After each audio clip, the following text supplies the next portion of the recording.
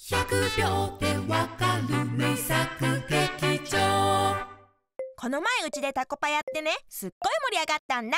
タコパ？あーあれ盛り上がるよね。うさちゃんじゃやったことある？ももちろんあるよ。何回やっても僕が勝っちゃうんだよね。勝つ？それどんなタコパ？あえーとほらあの盛り上がるやつ。あれ？もしかしてタコパ知らないんじゃ？し知ってる？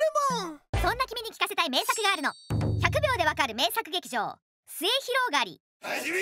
これは知ったかぶりをした男が大変な目に遭うお話。あるお屋敷の主人は今度開かれるパーティーで偉い人に末広がりをプレゼントしようと考えていました。末広がりとは扇の一種。閉じた状態でも先が開いた特別な形のものを末広がりと呼ぶんだよ。主人は家来の太郎冠者を呼び出しました。都で末広がりを買ってきておくれ。太郎冠者は末広がりが何かよくわからないまま飛び出してきてしまいました。ここが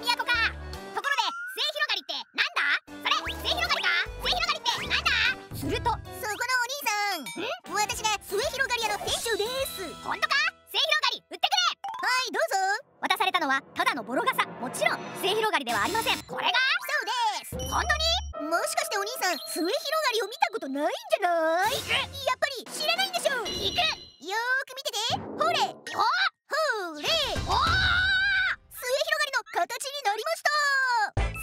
というのはもともと漢字の8の字のように上から下にかけて広がるという意味の言葉。この傘の形も末広がりと言えなくはないわよね。そういうことか買います買いますありがとうございます。さらにこんなこともできちゃうの。見事なダンスと歌を教えてくれました。傘をさすなる春日山。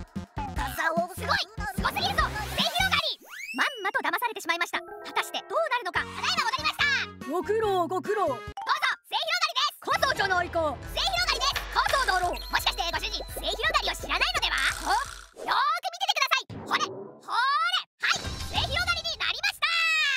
傘だって言ってるだろ都で飛ばされたな。は？末広がりっていうのはな。扇の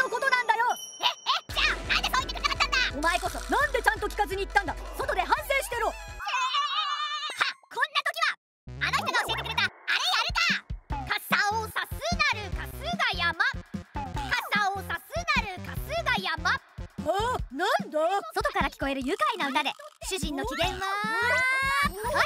大いい歌だな。お使いは失敗だったがその歌は最高だ。許してもらい二人で楽しく踊りましたとさ。終わり聞くは一時の恥。聞かぬは一生の恥。知らない言葉があったらその場で確認した方がいいんだね。そうかもね。じゃあね。知ったかぶりしてごめん。タコパって何？タコパはたこ焼きパーティーのこと。なんだたこ焼きパーティーか